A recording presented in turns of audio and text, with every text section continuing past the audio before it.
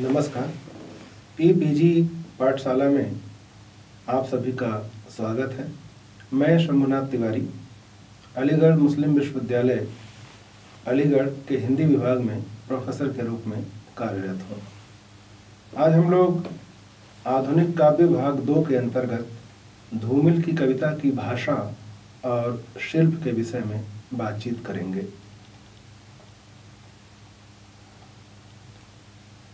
इस पाठ का उद्देश्य धूमिल की कविता की भाषागत विशेषताओं से आपका परिचय करवाना है और इस पाठ के अध्ययन के उपरांत आप जान सकेंगे कि धूमिल जैसे मार्मिक व्यंग्यकार की तीक्ष्णता क्या है। धूमिल की शिल्पगत विशेषताओं को भी रेखांकित कर सकेंगे। काव्य भाषा कवि की जीवन दृष्टि एवं यथार्थ चेतना को अभिव्यक्त करती है। समाज में घटित हर घटना, रचनाकार के विचारों, संवेदनाओं, जीवन मूल्यों को प्रभावित करती है। कवि की यथार्थ चेतना उसके विचारों को प्रभावित करती है और विचार उसकी भाषा को गढ़ते हैं। सामाजिक बदलाव के हर मोड़ पर यथार्थ के अनुरूप भाषा का रूप बदलता रहता है। सातवें दशक की युवा पीढ़ी ने जिस मोहभंग की यात्रा सही और आज़ादी के 20 वर्ष पश्चात भी स्थितियों को बदतर होते देखा, उसकी भाषा स्वाभाविक रूप से बदल गई। समकालीन कविता के कवियों में भाषा का यह परिवर्तन सबसे अधिक धूमिल में दिखाई देता है। धूमिल ने माना कि कविता के लिए सही शब्दों की तलाश आवश्यक है। जो कि यथार्थ को पूर्णता में अभिव्यक्त कर सके। इस संदर्भ में उनका पहला कदम कविता को भाषाहीन करना है। अपने इस प्रयास में उन्होंने अनेक तरीके अपनाए, जिसमें गद्यात्मक भाषा, सपाट बयानी और अश्लीलता को छूते हुए कविता के प्रांगण से च्युत शब्दों का प्रयोग शामिल है। बिंबों प्रतीकों का विरोध न करते हुए भी उन्हें स्वाभाविक ठोस, सुबोध और ग्राह्य बनाने का प्रयास उनके द्वारा किया गया। यही बातें उनकी भाषा को मौलिक और विशिष्ट बनाती हैं। धूमिल की कविता की भाषा की अगर बात करें तो इस संबंध में डॉक्टर ब्रह्मदेव मिश्र का एक कथन है कि धूमिल का हर स्थिति में आह्लादित कवि मन अपनी संघर्ष साधना में भाषा की सहज उपलब्धि में सफल हुआ है। अनुभव ताप में जलते हुए आह्लाद प्राप्ति की प्रक्रिया में जो जितना सहज हो पाता है, उसकी भाषा भी उसी अनुपात में सहजता प्राप्त करती है। धूमिल ने अनुभव के ताप को जिस सहजता से झेला और मन के आलात को सुरक्षित रखा, साठोत्तरी कविता में वह एक अलग मिसाल है। इस साधना ने ही उनकी भाषा को वह सहजता दी है कि वह अपने युग का मानक बन गई। उनकी कविता में आया प्रत्येक शब्द जीवंत अनुभवों से जुड़ा होने के कारण अर्थ प्रक्रिया में सहचर शब्दों का सक्रिय सहायक बनता जाता है और काव्य संवेदना अपने प्रवाह में कहीं बाधित नहीं होती। भाषा और संवेदना का यह परस्पर आलंबन कवि एवं उसकी कविता की शक्ति का द्योतक है। धूमिल की भाषा एवं संवेदना की अभिन्नता समसामयिक हिंदी कविता की सार्थक पहचान बनकर उभरी है। धूमिल की कविता आम आदमी के अनुभव, चिंतन, मनन एवं मानवीय संवेदना और सोच को सक्रिय बनाने वाली कविता है, जिसमें परिवेशगत अंधेरे पर गहराई से सोचा गया है। इसीलिए उसे अभिव्यक्त के संकट का सामना नहीं करना पड़ता। समकालीन कवियों के भाषा प्रयोग में जितनी सफलता धूमिल को मिली है, उतनी अन्य किसी को नहीं। डॉक्टर हुकुमचंद राजपाल के अगर शब्दों में कहें तो उन्हें शब्दों का जादूगर कवि माना जाना चाहिए। डॉक्टर गणेश तुलसीराम अशेष्टकर ने उनके शब्दों को पाठकों के कलेजे में चाकू छुरे से उतरने वाला माना है और कहा है कि कामायनी की भाषा मीठी मीठी लोरियाँ सुनाकर सुलाने वाली लगी थी तो धूमिल की कविताओं की भाषा ऊँगते हुए व्यक्त के दोनों कंधों को पकड़कर झकझोरती सी लगी है। शब्दों के सटीक और सार्थक प्रयोग में धूमिल की जागरूकता, सतर्कता अद्भुत है। उनकी कविताओं में कोई शब्द फालतू नहीं आया है। किसी भी एकाध शब्द को हटाकर होने वाले कविता के अर्थांतर की चर्चा होती रहती है। परंतु धूमिल की कविता के संदर्भ में अर्थांतर की बात करना इसलिए बेकार है कि उसमें एकाध शब्द हटाने पर कविता ही निरर्थक हो जाती है। शब्द प्रयोग की दृष्टि से देखें तो धूमिल शब्दों का सही सार्थक एवं सटीक प्रयोग करते हैं। धूमिल एक शब्द को जितनी बार प्रयोग में लाते हैं, उतनी ही बार उनकी अर्थ व्यंजना भिन्न भिन्न होती है। और वह शब्द अपना कोशीय अर्थ बनाए रखकर भी समय, परिस्थिति व प्रसंग के अनुरूप अपना नया अर्थ विकसित कर लेता है। यह धूमिल के शब्द प्रयोग की महत्वपूर्ण विशेषता है। उनके काव्य में प्रयुक्त नेता, जनतंत्र, चुनाव, जनता आदि शब्दों को ही लें तो ये शब्द अपने कोशीय अर्थ की सीमा से परे वर्तमान समय की राजनीतिक व सामाजिक व्यवस्था की सार्थक पहचान कराते नज़र आ जैसे जनतंत्र शब्द उनकी कई कविताओं में, कहीं कोशगत तो कहीं संदर्भगत अर्थ में प्रयुक्त हुआ है। कोट, आज की भूख से भूख के अगले पड़ाव तक लिख दें यह रास्ता जनतंत्र को जाता है। उस वक्त जनतंत्र किधर था कि कविता में पुनरावृत्ति या कर्फ्यू में शांत, ठंडी सड़क पर सैनिक दस्तों में जूतों से जनतंत्र की सफ़ेद और मार्मिक ध्वनि का निकलना। कहीं पर धूमिल ऐसे जनतंत्र की पहचान करते नज़र आते हैं, जिसमें ज़िंदा रहने के लिए घोड़ा और घास को एक जैसे छूट है। मैं हूँ कविता में प्रयुक्त कवि शब्द, कवि की आंतरिक पीड़ा को व्यक्त करता। तो कबूतर शब्द भारत और चीन के मध्य राजनीतिक संबंधों को प्रगाढ़ करने वाले पंचशील के ऐतिहासिक संदर्भ को प्रस्तुत करता है। मोहभंग व उदासीनता की स्थिति में कवि पुनः आशावाद से लैस होकर देश प्रेम मेरे लिए कविता में अपने घायल कबूतरों को फिर से उड़ाना सिखाता है। मैंने भी नक्शे के ऊपर लाल कलम से जगह घेर दी और उसी सीमा के भीतर अपने घायल कबूतरों को फिर से उड़ना सिखा रहा हूँ। इस प्रकार घास, जंगल, अंधा, मौसम, सूरज, लोहा, बसंत, जूता, मकान, धर्मशाला आदि शब्दों को देखें तो वे प्रत्येक संदर्भ में एक नए पक्ष को प्रस्तुत करते नज़र आते हैं। शब्दों को टटोलने, महसूसने का उनका अलग नज़रिया है। जो कि उन्हें समकालीन कवियों में पृथक स्थान प्रतिष्ठित करता है। संसद से सड़क तक काव्य संग्रह की कुछ पंक्तियाँ देखें। अधजले शब्दों के ढेर में तुम क्या तलाश रहे हो? यह भविष्य है यानी कि शब्दों की दुनिया में आने की सहमति। भाषा को हीखते हुए कविता में अब कोई शब्द छोटा नहीं पड़ रहा है। शहर का व्याकरण ठीक करने के लिए एक हल्ला गाड़ी गश्त कर रही है। भाषा के चौथे पहर में जुआ तोड़कर भागते हुए शब्दों को कविता में नाद सकूँ, एक परिचित चेहरा किसी तत्सम शब्द की तरह अपरिचित हो गया है, क्योंकि शब्द और स्वाद के बीच अपनी भूख को ज़िंदा रखना शब्दों के जंगल में। धूमिल का शब्द चयन ऐसा है कि पाठक स्वयं उसकी ओर खिंचा चला जाता है। धूमिल अपनी कविता में जिस विषय का प्रतिपादन करते हैं, उसके समस्त परिवेश को इस तरह साकार करते हैं कि उसमें उनका कथ्य, कवि और पाठक तीनों एकाकार हो जाते हैं।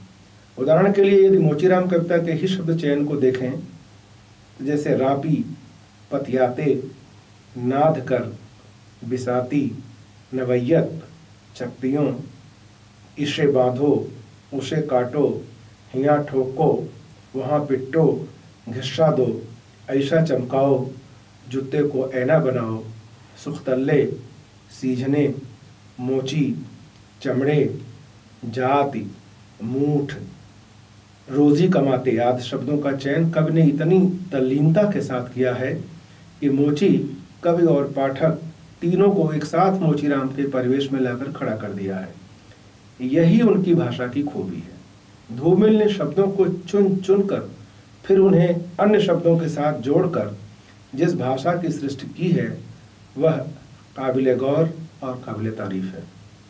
धूमिल ने भाषा के बधे बधाए खाके को तोड़कर अपनी भाषा गढ़ी और ठेठ ग्रामीण शब्दों का और भदेज शब्दों का खुलकर प्रयोग किया है।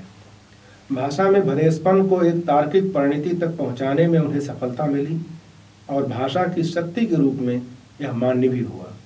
अतः धूमिल के शब्दों में, अतः धूमिल के शब्दों के काव्यगत प्रयोग को समूची काव्य संरचना की संगठित संगति में देखना ही समीचीन होगा। धूमिल ने बैलमुक्ति इबारत, औरत का धर्मशाला होना, गाभिन औरत, बच्चे की जूजी आदि अश्लील से लगने वाले प्रयोगों को जिस संदर्भ से जोड़कर काव्य का अंग बनाया है, उसमें ये प्रयोग अनावश्यक ध्यान नहीं खींचते। बल्कि संपूर्ण कविता की बुनावट में खप कर ये अर्थ प्रक्रिया में अपना गहरा योगदान देते हैं। देखें, लगातार बारिश में भीगते हुए उसने जाना कि हर लड़की तीसरे गर्भपात के बाद धर्मशाला हो जाती है और कविता हर तीसरे पाठ के बाद। लगातार बारिश में भीगते हुए अर्थात अनुभवों का नग्न साक्षात्कार करते हुए कविता और औरत की यह समानता एक ऐसी उपलब्धि बन गई है, जिसके माध्यम से सच्चाई को तीव्रता और गहराई से अभिव्यक्त करने में मदद मिली है। औरत के इर्द गिर्द बनी धारणा कि वह देवी है के खोखलेपन को दिखाना भी इसके पीछे निहित है। दरअसल, काव्य और औरत को लेकर बनी रोमानियत तथा जीवन की ठोस सच्चाई के धरातल पर उसकी धूमिल के विरोधाभास को सही दृष्टि से देखे बिना औरत को लेकर धूमिल पर सीमित नज़रिए का आरोप लगाना तर्क संगत नहीं होगा।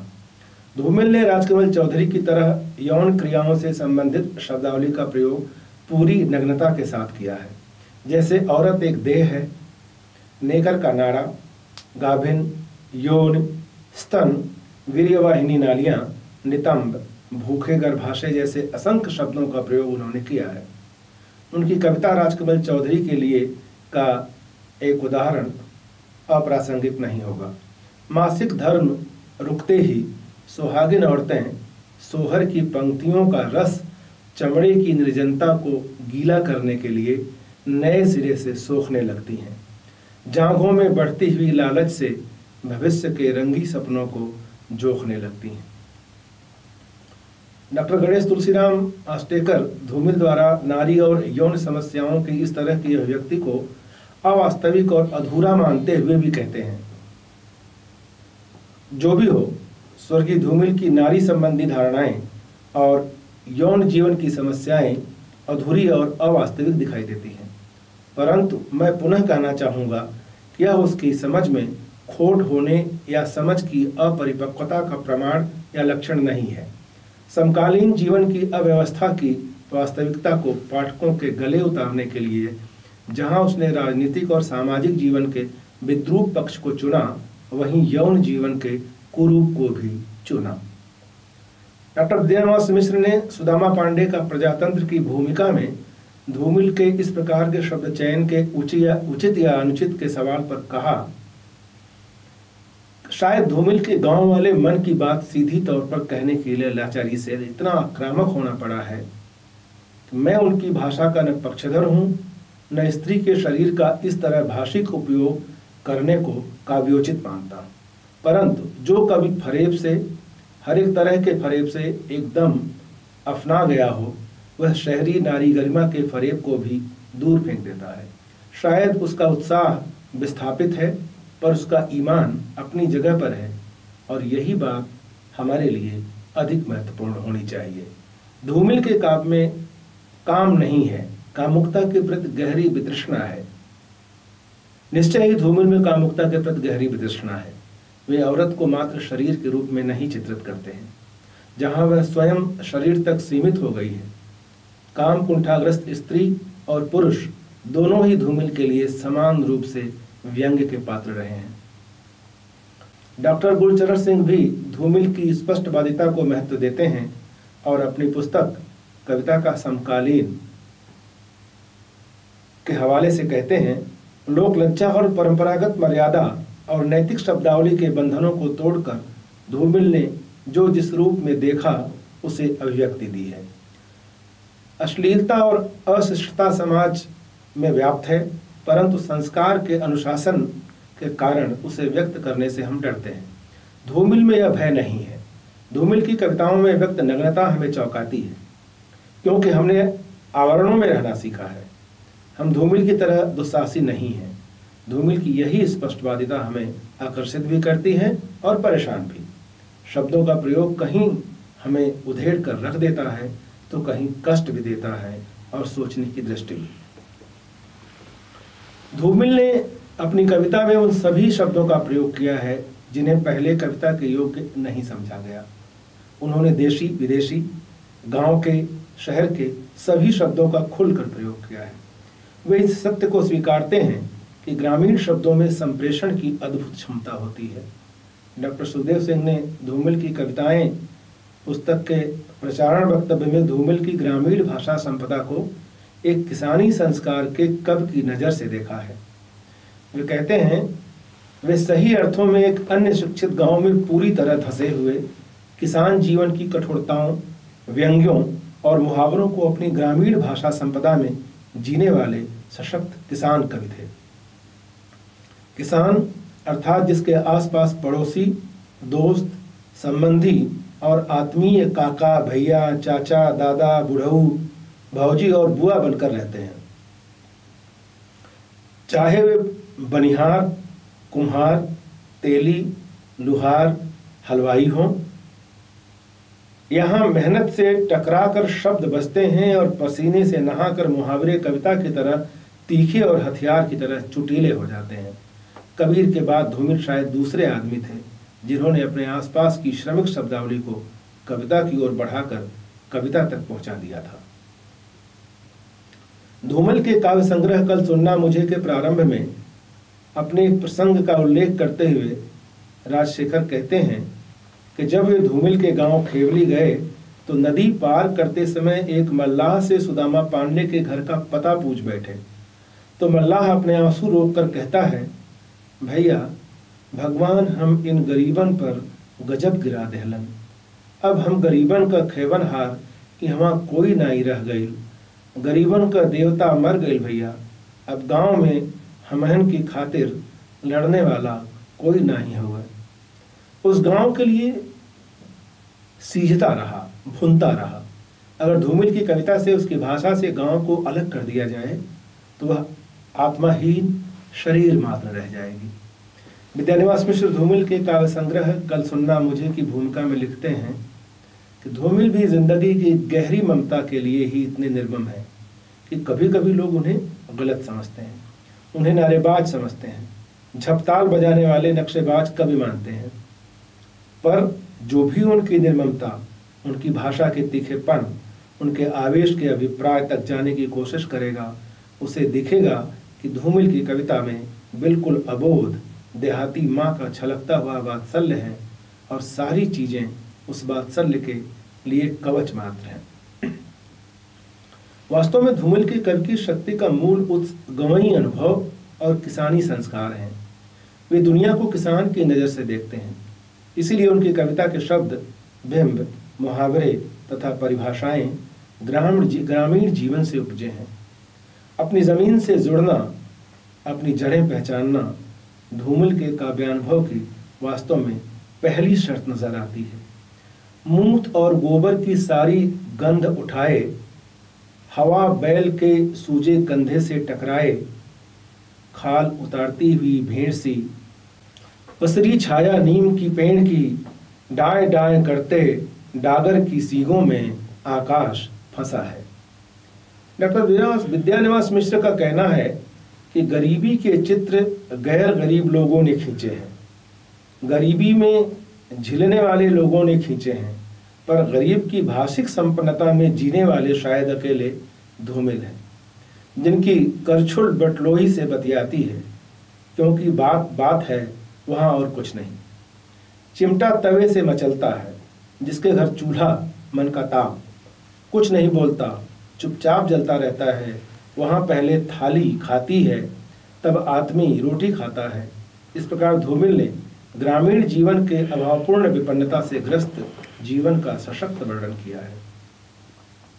चूल्हे का कोयला, पतीली की दाल, बाल्टी, चौका, पाला लगी मटर सोहर मूत गोबर, डाय डाय करते डागर, चकत्ती टाकना, नाधना, पोंकना, हुचुर हुचुर, लिट्टी आदि ग्रामीण शब्दावली और देहाती ज़िंदगी के ठेठ चित्रों के लिए उनकी गाँव, मोचीराम, प्रौढ़ शिक्षा, नक्सलबाड़ी, किस्सा जनतंत्र, कवि 1970 आदि कविताओं को देखा जा सकता है। एक उदाहरण देखें। कविता में जाने से पहले मैं आपसे ही पूछता हूँ, जब इससे न चोली बन सकती है न चोगा, तब आपे कहो इस ससुरी कविता को जंगल से जनता तक ढोने से क्या होगा? धूमिल ने गाँव की जनता के चरित्र को बड़ी गहराई से पहचाना है। वे जानते हैं कि जो अपनी जरूरतों के आगे जनता असहाय है, भूख ने उन्हें जानवर बना दिया है, संशय ने उन्हें आग्रहों से भर दिया है। वह एक भेड़ है जो दूसरों की ठंड के लिए अपनी पीठ पर ऊन की फ़सल ढो रही है। उसमें बेचौकानी है, गुस्सा है, मगर वह सामने नहीं आती। जानते हुए भी असली हत्यारे का पता नहीं बताती।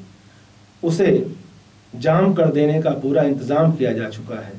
भाषाहीन को छला जाता रहा है और उसके विरुद्ध भाषा के जानकारों ने षड्यंत्र रचा था।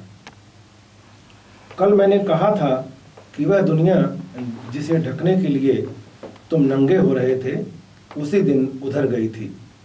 जिस दिन हर भाषा तुम्हारी अंगूठा निशान की स्याही में डूबकर मर गई थी। तुम अपड़ थे, गंवार थे, सीधे इतने कि बस दो और दो चार थे। धूमिल अपनी कविता में इसी ठंडी, निर्जीव, भाषाहीन जनता की, अपनी हीनता दीनता की भावना को तिलांजलि देकर स्वाभिमान के साथ जीने का संदेश देते हैं।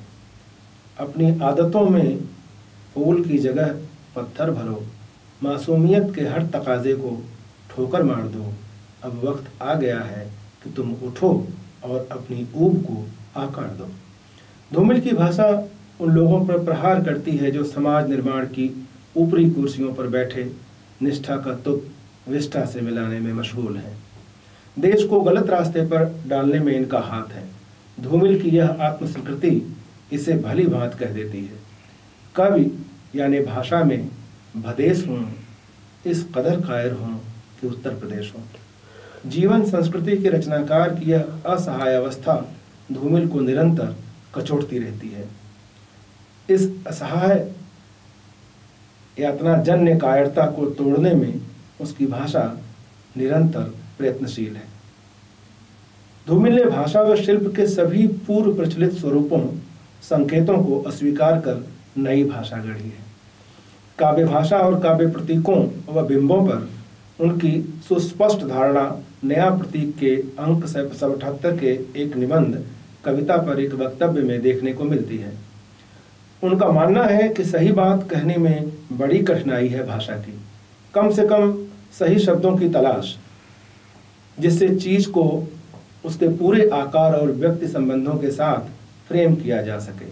अब तक कविता के लिए विशिष्ट काव्य भाषा प्रचलित रही है। परिणाम स्वरूप वस्तु और व्यक्ति के बीच कविता की भाषा एक दीवार बन गई है। अर्थात भाषा और काव्य का अंतर स्पष्ट किए बगैर सच्चाई तक जाना कदापि संभव नहीं। इस संदर्भ में पहला काम कविता को भाषाहीन करना है। साथ ही अनावश्यक बिंबों और प्रतीकों से भी उसे मुक्त करना है। कभी कभी या अधिकांशतः प्रतीकों और बिंबों के कारण कविता की स्थिति उस औरत जैसी हास्यास्पद हो जाती है, जिसके आगे एक बच्चा हो, गोद में एक बच्चा हो और एक बच्चा पेट में हो। प्रतीक बिंब जहाँ सूक्ष्म सांकेतिकता और सहज संप्रेषणीयता से सहायक होते हैं, वहीं अपनी अधिकता से कविता को ग्राफिक बना देते हैं। आज महत्व शिल्प का नहीं कथ्य का है। सवाल यह नहीं कि आपने किस तरह कहा है। सवाल यह है कि आपने क्या कहा है। इसके लिए आदमी की ज़रूरतों के बीच ही भाषा का चुनाव करना और राजनीतिक हलचलों के प्रति सजग दृष्टिकोण कायम करना अत्यंत आवश्यक है। धूमिल की भाषा का चरित्र व्यंग्यात्मक है, क्योंकि उसका आविर्भाव प्रासंगिक संदर्भों के विद्रूप एवं विसंगति के परिप्रेक्ष्य से हुआ है। इसलिए उनकी भाषा व शिल्प एक नए सौंदर्य बोध की रचना में तल्लीन दिखाई पड़ती है। वे जीवन की विसंगतियों से उत्पन्न अवांछित स्थितियों का बोध कराने के लिए व्यंग्यात्मक भाषा का प्रयोग करते हैं। उनका व्यंग्य केवल शाब्दिक नहीं है और न ही उनकी कविता में व्यंग्य कुछ रूपकों, बिंबों अथवा उक्तियों का मोहताज है। तितली के पंखों में पटाखा बांधकर भाषा के हल्के में गुल खिलाने से इनकार करने वाला कवि धूमिल कविता के द्वारा जनजीवन में सीधे हस्तक्षेप करने की बात करता है। इसलिए वह बार बार कविता की सार्थकता और उपयोगिता के विषय में अपने आप को आश्वस्त कर लेना चाहता है और कहता है कि कविता भाषा में आदमी होने की तमीज है। इसके साथ ही कविता शब्दों की अदालत में मुजरिम के कटघरे में खड़े बेकसूर आदमी का हलफनामा है। स्पष्ट है कि धूमिल शब्द चमत्कार अथवा कलात्मक सौंदर्य के नाम पर कथ्य की हत्या नहीं करते। न ही उनके व्यंग से मिलने वाला संतोष मात्र कलात्मक सौंदर्य जनित संतोष या आनंद कहा जा सकता है। धूमिल की उक्तियाँ मुहावरे बिंब प्रतीक व्यंग्यात्मक है और उनकी गहन संपत्ति के सूचक हैं।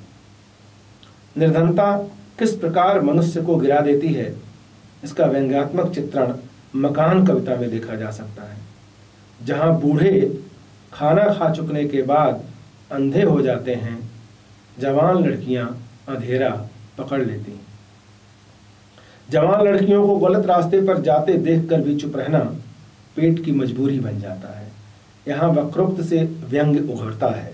आर्थिक विषमता एवं शोषण पर आधारित उनकी कविता रोटी और संसद अत्यंत मार्मिक है। एक आदमी रोटी बेलता है, दूसरा आदमी रोटी खाता है, तथा एक तीसरा आदमी भी है जो न रोटी बेलता है और न खाता है, वह रोटी से खेलता है धूमिल पूछना चाहता है कि वह तीसरा आदमी कौन है? परंतु देश की संसद इस प्रश्न पर चुप्पी धारण कर लेती है। इस चुप्पी में ही व्यंग्य निहित है और यह व्यंग्य ही उनकी कविता का प्राण तत्व है। व्यंग्य शिल्प की दृष्टि से धूमिल अधिकतर एकालाप तथा आख्यान का सहारा लेते हैं। वे अपनी कविताओं में सीधे पाठक से मुखातिब होते हैं। उनकी भाषा व्यंग्य के सर्वथा अनुकूल है। आक्रामक मुद्रा लिए सरल, स्पष्ट तथा सपाट भाषा विचार के अनुरूप वक्र भी हो जाती है। परंतु यह वक्रता अस्पष्टता को जन्म नहीं देती, बल्कि व्यंग्य की संहारक शक्ति को बढ़ाती है। धूमिल की कुछ कविताओं में जो अस्पष्टता है, वह भाषा की अपेक्षा संवेदना की जटिलता का परिणाम है। धूमिल धूमिल पेशेवर भाषा को अपनी कविता के लिए अनुपयुक्त मानते हैं। नहीं, अब वहाँ कोई अर्थ खोजना व्यर्थ है। पेशेवर भाषा के तस्कर संकेतों और बैलमुत्ती इबारतों में अर्थ खोजना व्यर्थ है। इस कविता में बैलमुत्ती इबारतों जैसे व्यंग्यात्मक कथन से धूमिल ने स्पष्ट किया है कि उस तथाकथित कलात्मक, सांकेतिक एवं अस्पष्ट भाषा के प्रति उनके मन में भारी वितृष्णा थी। बसंत कविता धूमिल सौंदर्य में स्वाद तलाशने वाली श्वान वृत्ति पर टिप्पणी करते हुए कहते हैं, सौंदर्य में स्वाद का मेल जब नहीं मिलता, कुत्ते महुए के फूल पर मूतते हैं। यहाँ मूतने की क्रिया अपना इष्ट स्वाद न पाने पर सुंदर महुए के फूल को तिरस्कृत करने की श्वान वृत्ति की घृणास्पद अभिव्यक्ति है। एक और सौंदर्य का स्वाद रखने वाले श्वान वृत्ति के तथा कथित सुविधा भोगी हैं, और दूसरी ओर ज़रूरत से बिलबिलाते असंख्य जन हैं, जिन्हें स्वाद और सौंदर्य के रिश्तों की कतई पहचान नहीं। धूमिल की पंक्तियों का व्यंग इसी दूसरे वर्ग के लोगों की ज़रूरत के पक्ष में है। वे चाहते हैं कि सौंदर्य बोध ज़रूरत के अनुसार बने, स्वाद के अनुसार नहीं। धूमिल का व्यंग ऊपर से देखने में भले ही सहज लगे, परंतु प्रभाव में अत्यधिक तीक्ष्ण होता है। किंतु वह पैना और तीक्ष्ण है। व्यंग बोध की दृष्टि से मोचीराम कविता विशेष रूप से उल्लेखनीय है, जहाँ कवि कहता है, न कोई छोटा है, न कोई बड़ा है मेरे लिए हर आदमी एक जोड़ी जूता है जो मेरे सामने मरम्मत के लिए खड़ा है। पूरी कविता व्यंग्याभिव्यक्ति की दृष्टि से एक महत्वपूर्ण कविता है। जिसे साठोत्तरी हिंदी कविता की उपलब्धि के रूप में स्वीकार किया जा सकता है। धूमिल के व्यंग्य की सबसे बड़ी विशेषता यह कही जा सकती है कि उसमें तीखेपन के साथ साथ बौखलाहट जरा भी नहीं है। पटकथा जैसी लंबी कविता में से इस संदर्भ में कई उदाहरण दिए जा सकते हैं। एक उदाहरण देखें। नहीं, अपना कोई हमदर्द यहाँ नहीं है। मैंने एक एक को परख लिया है। मैंने हर एक को आवाज़ दी है। हर एक का दरवाज़ा खटखटाया है, मगर बेकार, मैंने जिसकी भी पूंछ उठाई है, उसको मादा पाया है। वे सब के सब तिजोरियों के दुभाषिए हैं, वकील हैं, वैज्ञानिक हैं, अध्यापक हैं, नेता हैं, दार्शनिक हैं, लेखक हैं, कवि हैं कलाकार हैं, यानी कि कानून की भाषा बोलता हुआ अपराधियों का एक संयुक्त परिवार है। धूमिल ने इस देश की संसद, समाजवाद, आज़ादी, चुनाव, नेता और राजनीति सभी पर पैना व्यंग किया है, जो कि पाठक को अपनी उपस्थिति से आमंत्रित करता है, उद्वेलित करता है और हमारे सामने कुछ महत्वपूर्ण प्रश्न रखता है। इस देश के बारे में धूमिल का कहना है, हिमालय से लेकर हिंद महासागर तक फैला हुआ जली हुई मिट्टी का ढेर है, जहाँ हर तीसरे ज़ुबान का मतलब नफरत है, साजिश है, अंधेरा है, यह मेरा देश है।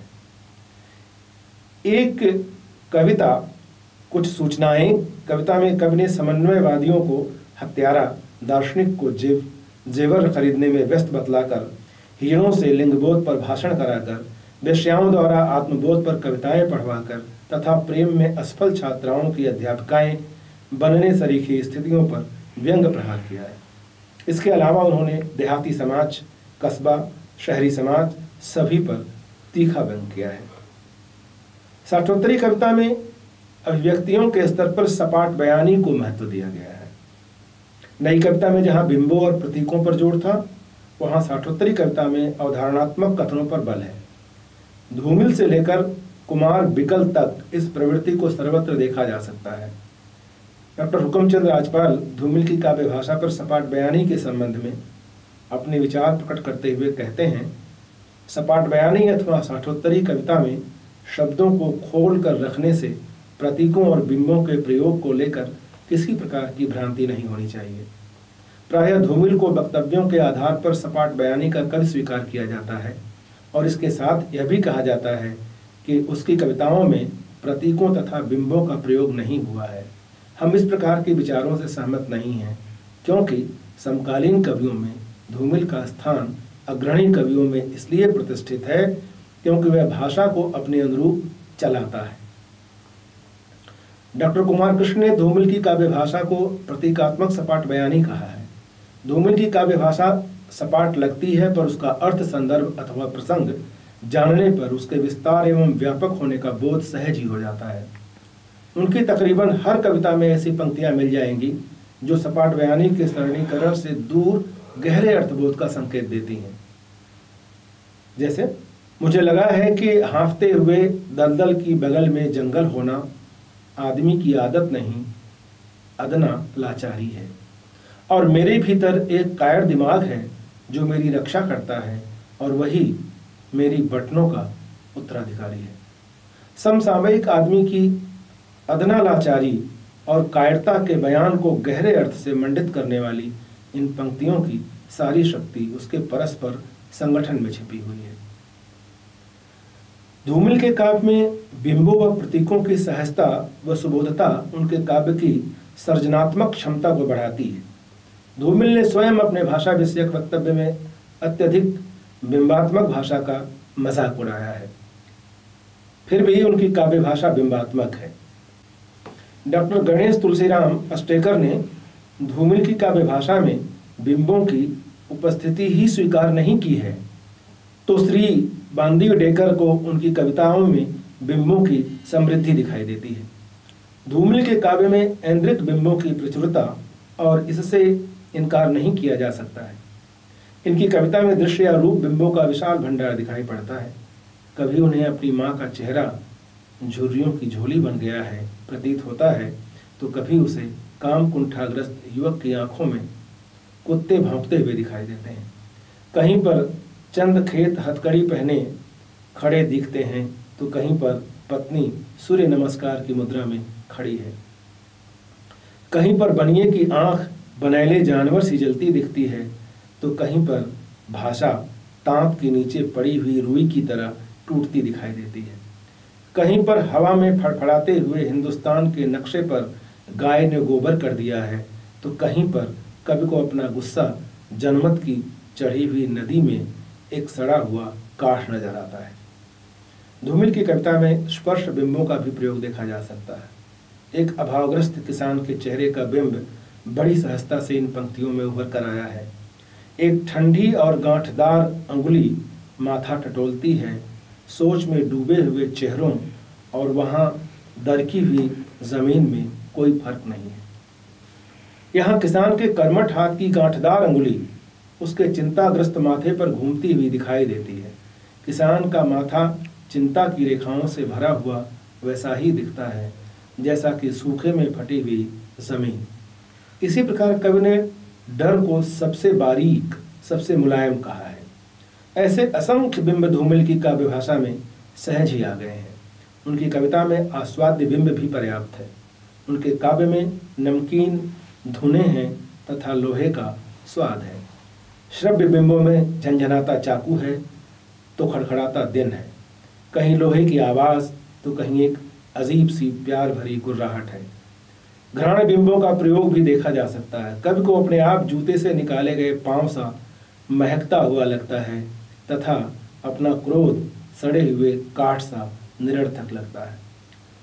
धूमिल के काव्य में बिंबों की उपस्थिति के प्रति किसी भाषिक चमत्कार का मुँह नहीं है, बल्कि कवि स्वाभाविक रूप से ही अपनी संवेदनाओं को जाने पहचाने बिंबों के सहारे मूर्त रूप देकर हमारे सामने प्रस्तुत करता है।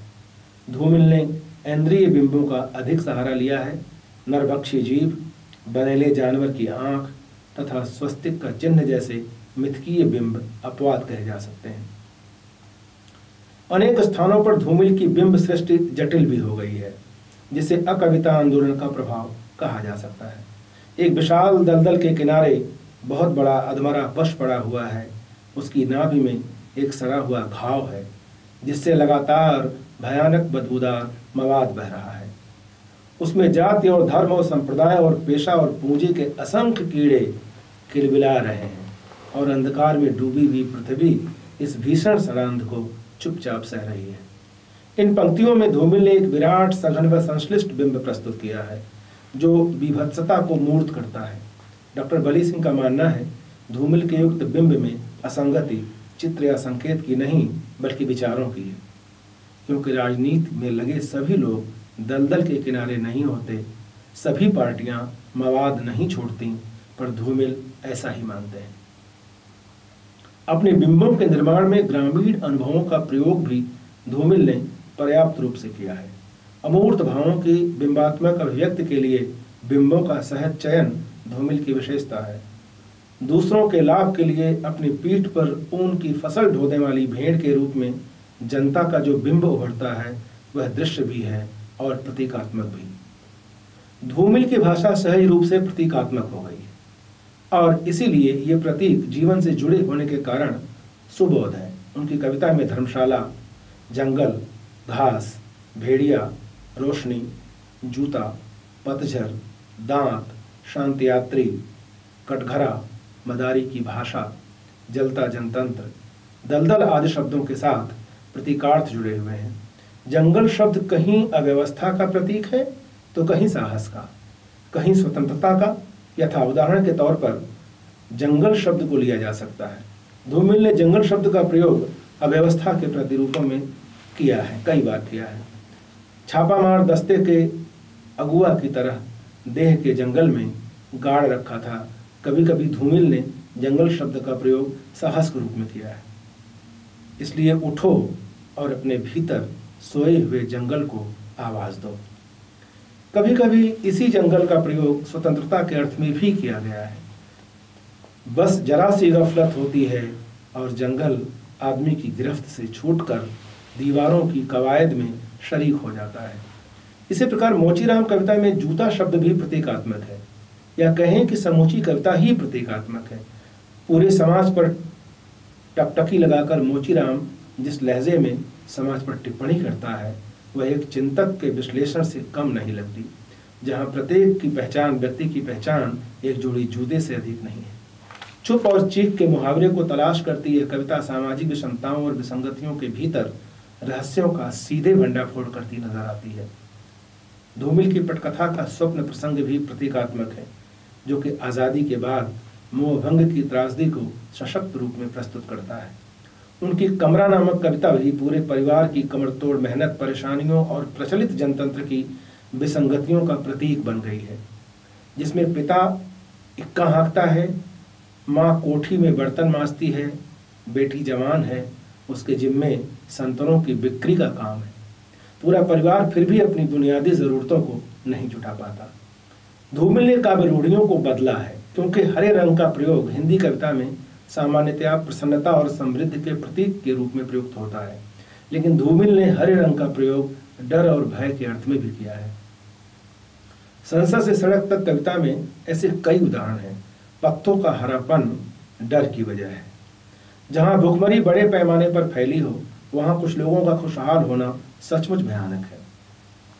धूमिल ने देखा और महसूस किया कहीं कहीं घास का हरा होना कितना डरावना अधिकांश उजाड़ और गरीबी में कुछ लोग, कुछ लोगों की खुशहाली मानवता के लिए खतरनाक होती है। इसीलिए वह भयानक है, भयप्रद है, डरावनी है। धूमिल का यह अर्थार्थ बोध ही प्रचलित काव्य ऋण को तोड़ता है। पटकथा में भी हरे रंग का प्रयोग, मूर्ता या अज्ञान के अर्थ में प्रयुक्त हुआ है।